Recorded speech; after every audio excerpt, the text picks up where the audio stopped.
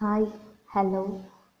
I'm Haripriya, Assistant Professor, Department of Costume Design and Fashion. In this video, we are going to see in uh, fundamentals of apparel designing. As a part, we are going to see about the terminologies. That means the collars. So in the collars, what are all the introduction? What we can, how the collar has been introduced? How what are all the purpose of collars? So we are going to see about that. So next, terminologies related to collars. Next, type of collars, and finally the conclusion. So introduction. Introduction is a design feature that frames the faces. It is added to the garment neck edge to create variations in the line, shape, color or texture in order to enhance its appearance. Proportions and the shapes are critical in the success of a collar. It serves to finish the raw edges at the neckline. Collars are usually made of double layers of fabric with or without an interfacing. In every collar, one must distinguish the over outer edge and the inner edge of the collar.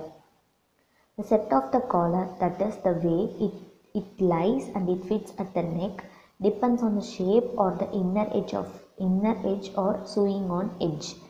This in turn depends on the difference in the length between the two edges. The collar is attached to the neckline with the outer edge hanging free. So next the terminology is related to collar. So first one is collar type determined by the shape of the collar neckline. The shape of a collar neckline directly affects how a collar relates to the wearer body. A collar may lie flat against the bodice of the garment or it may stand up partially or entirely against the wearer's neck. So this is collar type. Next neckline.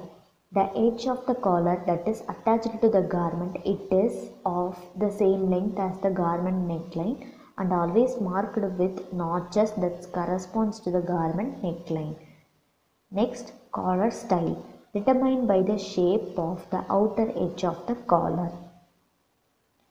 Next, style line, outer edge of the collar created by the designer. The collar stand, the collar rises above the garment neckline that lies against the wearer neck. A collar may be designed to have no stand or to be full stand.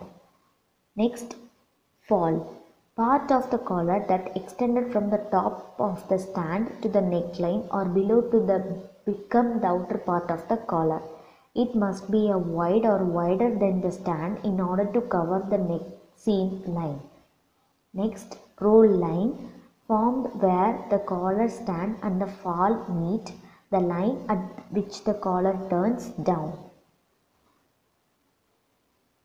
Break point the point at which a lapel turn back on itself, upper collar, outer visible part of the collar, out under collar, inner or under part of the collar, the outer seam line of the collar should roll to the underside under not in the finished product. Next, the types of collar. So in the types of collar, there are four basic collar types. One is flat collar, full collar, full roll collar, convertible collar, partial roll. So first, flat collar. A flat collar lies against the body and has no stand. However, a slight roll in is produced so that the collar covers the neck seam line Example, a Peter Pan collar which lies perfectly flat and has no roll at all. Flat collars however can be of any shape that is square or pointed. Next, Peter Pan collar. When the end of the flat collars are rounded and the flat collars is referred to as a Peter Pan collar.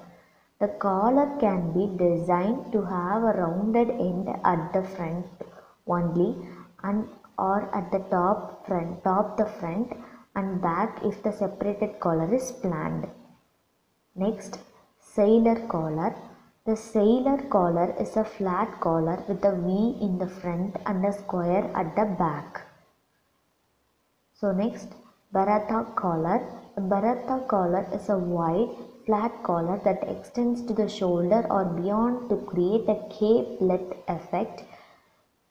Often, a Bertha collar is attached to the slightly lowered round or a boat neckline with the bodice features either a front or back opening. Next, full roll collar. The full roll collar has a full stand and a fall at the center back with a stand tapering to tapering to nothing at end center front. The neckline edge of the full roll collar is a straight line. These are always developed by drafting from body's neckline measurements taken from the basic sloper. Garment neckline and the collar neckline are of same length. Next, convertible collar. A convertible collar may be worn closed by closed with a garment buttoned or zipped together at center front or open to create a collar or a lapel effect. The turned back upper part of the bodice that begins above the garment closure is called as a lapel. Next, mandarin collar. The mandarin collar is a narrow standing band usually 1 to 1.5 inch width because the collar is narrow. It stands up and has no fall.